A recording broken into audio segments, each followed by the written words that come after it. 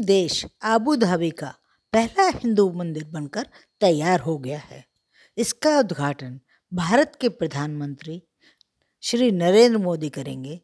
चौदह फरवरी को इसका प्राण प्रतिष्ठा कार्यक्रम आयोजित किया जाएगा। यह मंदिर। पहला हिंदू मंदिर है जो मुस्लिम देश में बना है।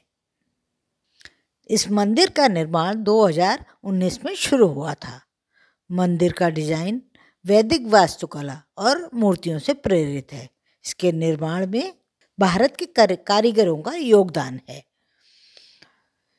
पवित्र ग्रंथों की कहानियाँ इसमें नक्काशी के रूप में उकेरी गई हैं।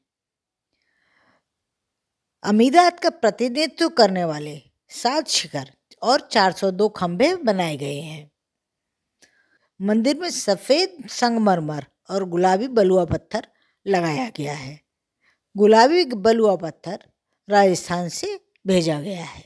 इसमें एक बड़ा एम्फी थिएटर एक गैलरी, एक पुस्तकालय, एक फ़ूड कोर्ट और पाँच हज़ार लोगों की क्षमता वाला हॉल भी है।